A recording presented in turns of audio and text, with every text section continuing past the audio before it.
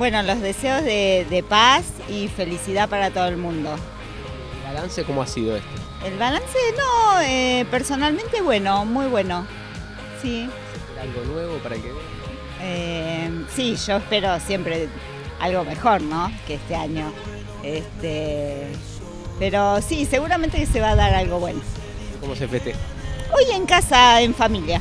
Bueno, más que nada amor, paz y salud, mucho trabajo y bueno, nada, que siga todo bien como siempre y todo lo mejor para ¿Cómo, todos. cómo ha sido el balance este 2015? La verdad que estuvo muy bueno, se dieron cosas que estuvieron buenas, mucha diversión, muchos encuentros con personas, muchos nuevos amigos, la verdad que estuvo bueno, estuvo bueno. ¿El año que viene es para tirar para arriba? Sí, el año que viene hay que tirar para arriba hay que seguir. sí. Em, bueno, nada, que mejore un poco todo y más que nada por el tema del, del trabajo y demás que pueda ser eh, más eh, mejor para toda la gente, o sea que todo el cambio este político y demás que sea mejor para todos, para, para que la gente no esté esperando por ahí planes sociales ni ayuda, sino un buen trabajo y para darle algo digno a sus hijos, que todos lo merecen. Nada, este, la verdad que podamos vivir en paz, que podamos salir adelante como país, que me parece importante para todos, y que bueno, que cada cual se haga eco de, los, de las cosas lindas que tiene en familia, que las pueda vivir día a día, este, que me parece algo bueno, que lo tenemos que rescatar, que nos pasa por arriba el trabajo, el celular, la computadora, eso. Cuando se levanta la copa, ¿hay algún deseo distinto, nuevo?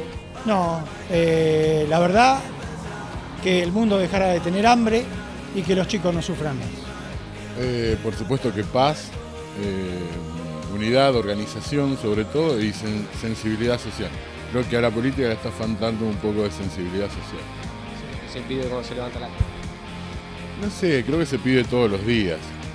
Creo que es algo que debemos pedir todos los días, no solamente cuando levantamos la copa. ¿Ha sido un año positivo? No creo, por lo menos mm, desde lo personal puede ser que sí, pero cuando uno mira el contexto creo que no ha sido un. Eh, salud para la familia y bienestar para todos. ¿no? ¿Cómo ha sido el año? En línea general, buena. Muy buena. ¿Algo distinto para el año? Y eh, vamos a ver qué va a pasar con, con el nuevo gobierno y espero que haya un cambio. Hasta el momento sí, aparentemente vamos bien. Pero vamos a ver qué pasa.